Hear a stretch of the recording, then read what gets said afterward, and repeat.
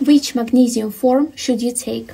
You often feel irritable, have no appetite, suffer from constipation, have muscle weakness, insomnia, or sleep problems, memory decline, and constant apathy.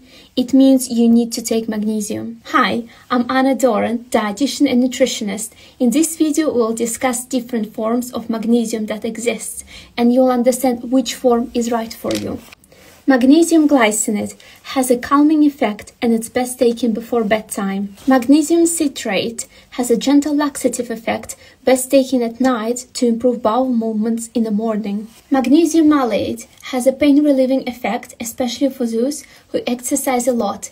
It also increases energy levels in chronic fatigue syndrome. Magnesium taurate gently lowers blood pressure and supports tissue oxygenation, thus improving bile flow and absorption of fat soluble vitamins. Down below, I've discussed other forms of magnesium.